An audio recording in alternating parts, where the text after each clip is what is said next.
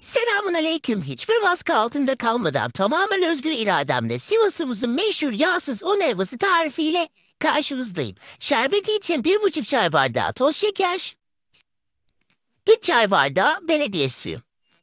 Şöyle karıştırarak çözünmesini sağlayacağız ve kaynamasını bekleyeceğiz. O kaynarken, tamam kaynasın, geç yan tarafa. Bunun içe potun tavanın içerisinde de orta ateşte iki çay bardağı un ekliyorum ve unumu habire kavuruyorum.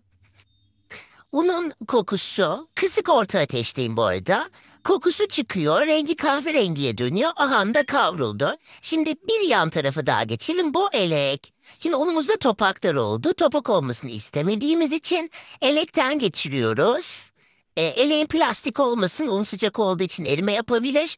O yüzden böyle metalimsi bir elekte yapmak daha evladır. Plastikte de bir şey olmayabilir ama neyse ben söyleyeyim de.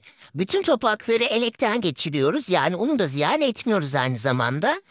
Hah işte böyle incecik bir toz haline geldi. Tekrardan, tekrardan getiriyorum tavaya. Ocağın altı açık, kısık ateşteyim. Şimdi şerbetine una ekliyorum kavrulan una.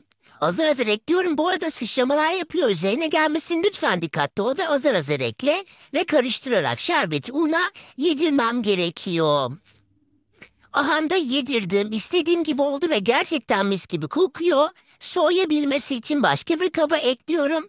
İstersen bak gösteriyorum. Bu şekilde düzleyebilirsin, keserek de servis edebilirsin ama ben yuvarlayarak servis etmeyi tercih ettim.